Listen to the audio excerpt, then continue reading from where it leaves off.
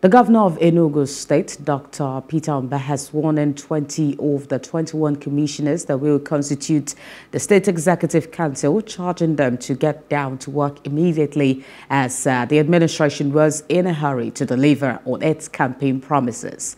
The newly sworn-in commissioners include Professor Ndubueze Mbah, uh, Mrs. Ngozi Ene, Engineer Lawrence Eze, Professor Sam Ugwu, and uh, pharmacist uh, Chika Ugwoke, uh, Dr. Kingsley Ude, and Professor Emmanuel Obi.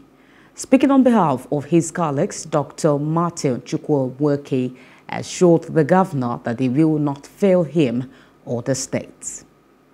I have promised in the Enugu and what the people of Enugu state are expecting from us is A, in less than uh, in about 100 days from now, they want to turn their tap and see water flowing from those taps.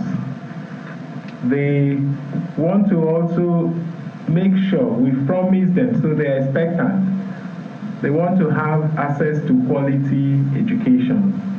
They want to have access to quality healthcare services.